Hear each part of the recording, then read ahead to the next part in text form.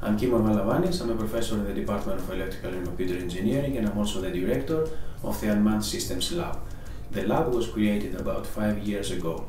Our research focuses on unmanned ground systems and unmanned aerial systems. Our research projects span wide areas and they focus on navigation controllers, on integrated control and diagnostics, on building sense and avoid and see and avoid systems for unmanned rotorcraft, and also building a platform on which helicopters will land, refuel, recharge, and uh, deposit data. Hello, my name is Matt Rutherford. I'm a professor in the Department of Computer Science and the Deputy Director uh, of the Unmanned Systems Lab. Uh, what we like to do in the lab uh, is take systems like the ones you see behind me uh, that are a combination of mechanical, electrical, and software and uh, use them to study different aspects of autonomous uh, system behavior. Uh, for example, here's one of our miniature helicopters.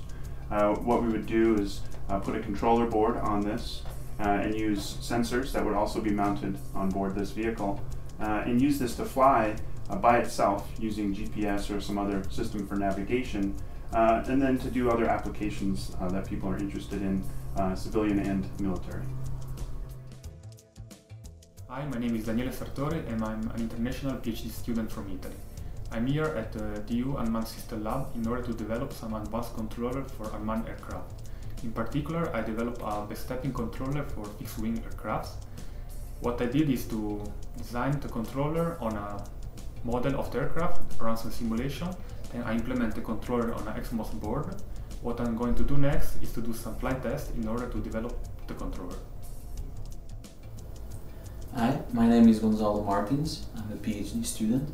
My area of research is swarms, focus on communication systems, communication protocols between um, unmanned systems. Here you have a test bed with different nodes transmitting uh, simultaneously without any synchronism. This is relevant um, to enable communication between a group of vehicles.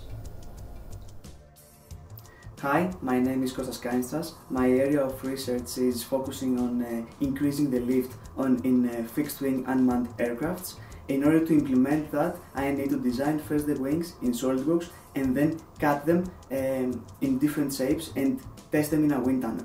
In order to do that, I'm designing a foam cutter, which is a machine that cuts the foam in different shapes. So the idea is to cut the foam in uh, to cut the wings in different shapes and test them in a wind tunnel in order to see if we can increase the lift by blowing air through the trailing edge of the wing. Hi, my name is Alistair Moses. I'm a PhD student here at the University of Denver. I'm holding an example of the type of work we do here in the Mechatronics Systems Engineering program Here's my thesis work. It is a miniature radar system going on board vehicles of around this scale. Now the goal of this work is to enable integration of unmanned aircraft into the national airspace. But to do this, these aircraft have to be intelligent enough to avoid collisions with other unmanned aircraft, manned aircraft, and terrain, in addition to other infrastructure. So this radar system provides the aircraft with the information it needs to do that. We collaborate with other universities and our collaborators are the California State University Los Angeles, University of Texas at Arlington, Georgia Tech, Technical University of Crete and the University of Zagreb. Our funding comes from several sources like the National Science Foundation, the Department of Defense, companies, the private sector and the state. Recently, we entered in an agreement with the Front Range Airport and several of our operations will move to the Front Range Airport because they have the facilities and the space for us to do our experimental work and testing.